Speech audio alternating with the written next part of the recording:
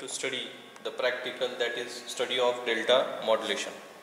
The objective of the practical will be to identify these different blocks in a delta modulation system and to study the output of each block.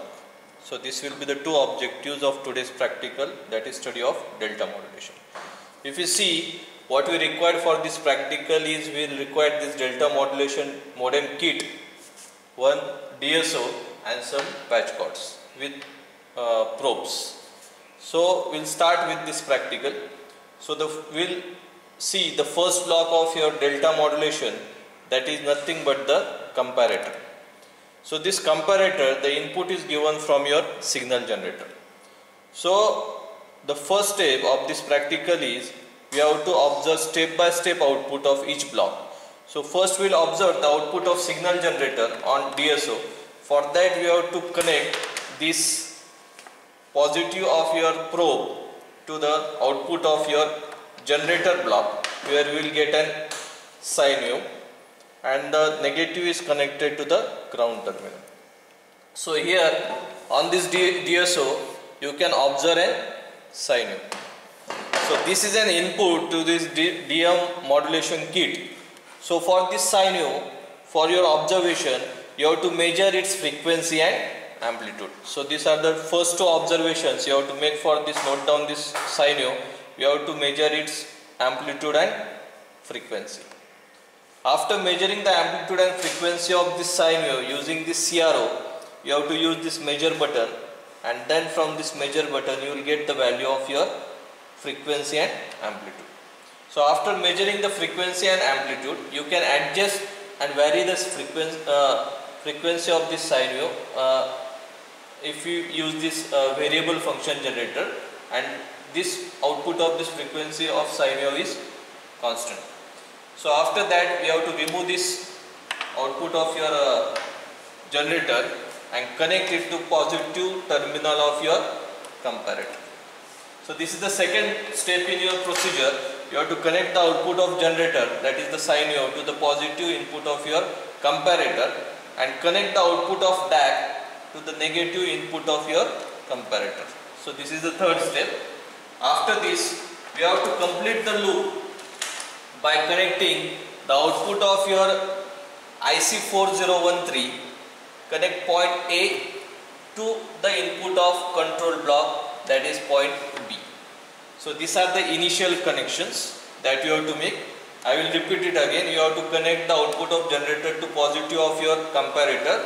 You have to co connect the output of DAC to the negative of the comparator and output of IC4013 to the input of controller. So after making this connection, now you have to observe the different outputs of different block. So first we will observe the DM output. So DM output you can take it at the output of comparator.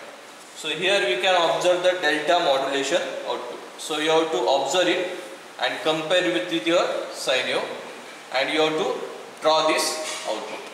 After observing this output, you can now observe the output of your DAC. So at the output of DAC, you will see a staircase waveform. So you have to draw this staircase waveform and you have to measure its step size delta. After observing this DAC output, the next step you have to follow is you have to observe the sampling clock frequency. So this is the sampling clock output. So you have to note down the frequency Fs. After observing this sampling clock output, so this is all the observations related to the DM transmitter. Then you have to see the DM receiver. In DM receiver, all the blocks are same. Only one block is added. That is your low pass filter. So this low pass filter will connect the output of DAC. This is the last step of your practical. You have to connect the output of DAC to the input of your low pass filter. So I will connect the output of DAC to the input of low pass filter and if you observe the output of low pass filter you will get the same sine wave that we have transmitted at the receiver side. So if you observe this the output of low pass filter you will get the same sine wave you see at the top side you will get the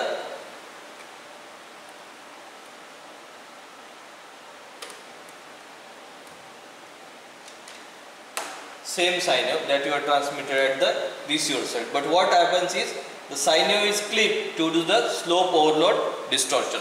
So by getting the value of Fs, by getting the value of frequency Fm, by calculating value of del, you have to calculate this slope overload distortion by using the formula given in your manual. So this was the practical. The conclusion of the practical is we have studied different blocks of your delta modulation system and observed different waveforms and calculate the slope overload or granular noise by observing different or taking different readings in delta modulation. Thank you.